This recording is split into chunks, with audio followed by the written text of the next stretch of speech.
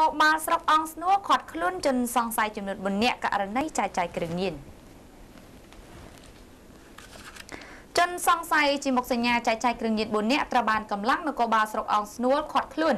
ខណៈកំពុងសំងំជួញដូរនៅចំណុចភូមិថ្មីខុំបាច់ចានស្រុកអង្គស្នួរខេត្តកណ្ដាល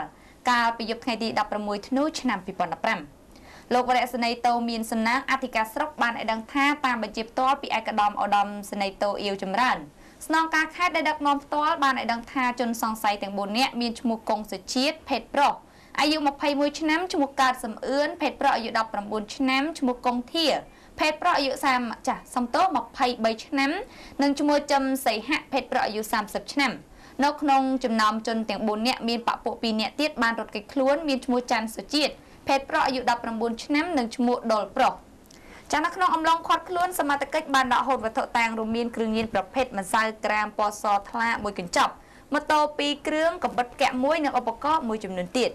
បច្ចុប្បន្នជនសង្ស័យកំពុងត្រូវបានខាត់ខ្លួនដើម្បីកសាងសំណុំរឿងបញ្ជូនទៅកាន់តុលាការ